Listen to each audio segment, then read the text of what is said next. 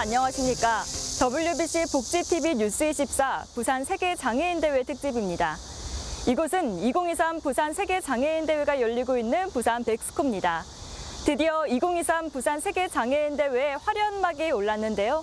지구촌 대전환, 그 도전과 기회의 첫 발을 박성용 기자가 전해드립니다.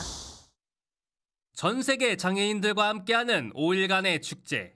2023 부산세계 장애인 대회가 지난 7일 개막을 시작으로 장애인 권익을 향한 다양한 논의의 장으로 꾸며졌습니다. 세계 장애인 대회는 국제 장애인 연맹에서 장애인 인권 향상, 국제 협력 강화를 모색하고자 4년마다 개최하고 있는 장애인 국제 행사입니다. 1982년 시작돼 올해로 10회째를 맞고 있으며 우리나라에서는 지난 2007년 제7회 세계장애인 대회가 일산 킨텍스 일대에서 개최된 이후 이번 대회가 두 번째입니다. 특히 이번 대회는 부산에서 열리는 첫 장애복지 분야 국제 행사로 그 의미를 더했습니다. 부산 지역이 국제적 장애 친화 도시로 한 단계 도약하고 나아가 대한민국의 장애인 복지 위상을 전 세계에 알린다는 설명입니다.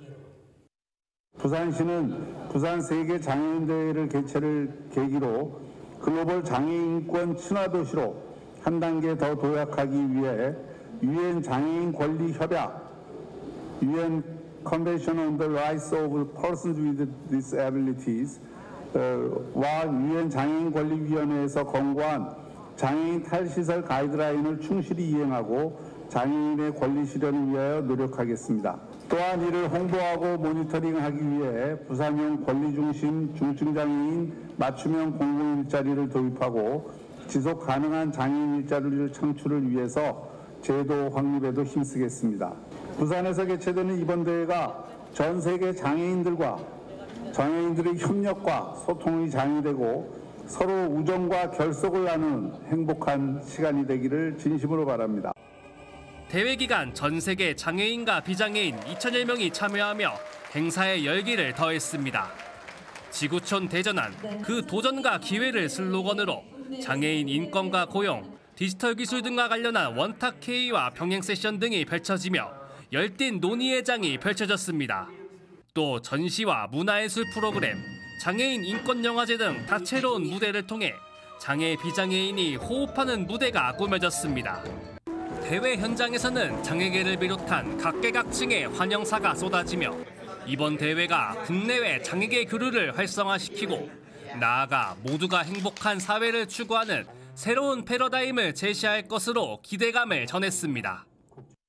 우리 장애인 당사자들은 장애인의 인권과 존엄성을 위해 끊임없이 주창하고 연대해 왔으며 그 안에서 유엔 장애인 권리 협약과 장애인 권리 중진 정책 제정을 통해서 우리의 권리를 향상시켜 오고 있습니다.